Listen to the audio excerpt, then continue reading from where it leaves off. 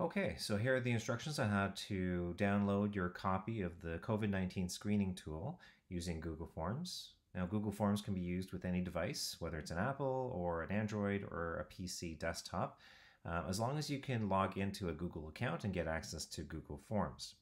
So what you'll want to do first is log into your Google account, which I already am.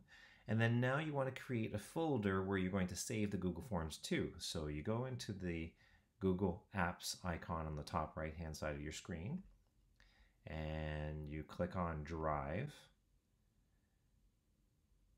and you want to create a new folder. And you can name it anything you want.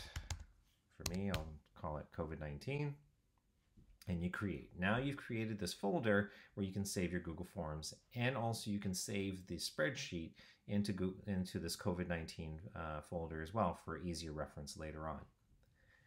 So the next thing you want to do then is go to the email that I sent you and the email will have a link and that link has at the end of it the word copy.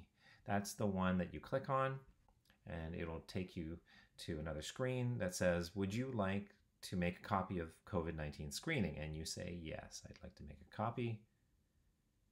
And it redirects you to a purple background screen.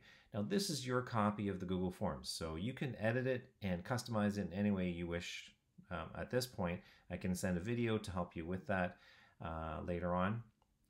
So once you've got this form in front of you, you want to save it into that folder that you just created. So you go up to the top left-hand side here, it says move to folder, and you find the name of your folder, and you say move. So now you can find your forms uh, anywhere in that in your Google Drive. One more thing that uh, I do too is I save it as a bookmark, um, and that makes it a lot easier uh, for your staff to be able to access it when they're with a patient. That way they don't have to keep clicking into Google Drive and whatnot.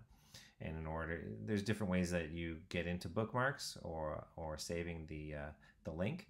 Uh, but in this particular situation, you go on that top right hand side and you click on bookmarks and you bookmark this page and that's where you get that.